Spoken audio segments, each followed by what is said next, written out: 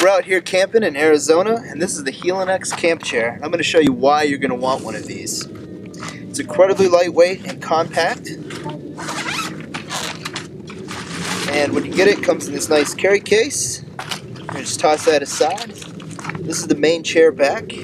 My little helper here can hold it, maybe.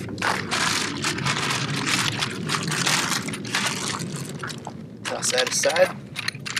This is going to be the chair frame, what makes up the chair. Wow, goes together really fast, really quick. Are you helping Daddy? All right, so it's going to make up our chair. Now we're going to put it together. Watch this, Alex. This goes on there. Well, I didn't do it perfect. Still pretty quick and easy. Got an end here that goes in there real nice and tight.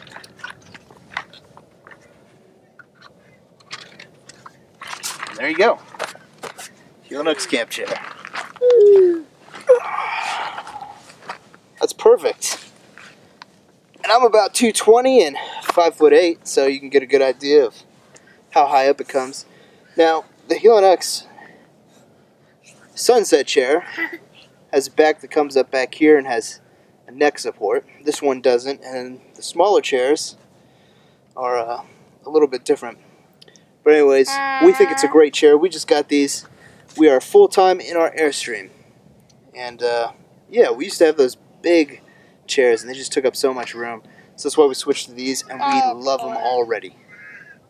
Say goodbye, Alex. More videos coming soon. This is our first.